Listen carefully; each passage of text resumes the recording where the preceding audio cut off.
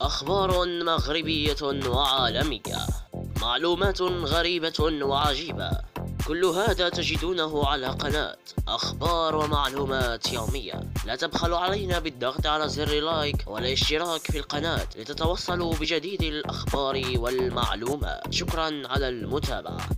ضجة في المغرب بسبب المتسولة الثرية. فيديو كشفها وهذا مصيرها. قضت محكمة في المغرب الاثنين بسجن سيدة لمدة ستة أشهر وتغريمها مبلغ ألف درهم وذلك بتهمة امتهان التسول على الرغم من ثرائها.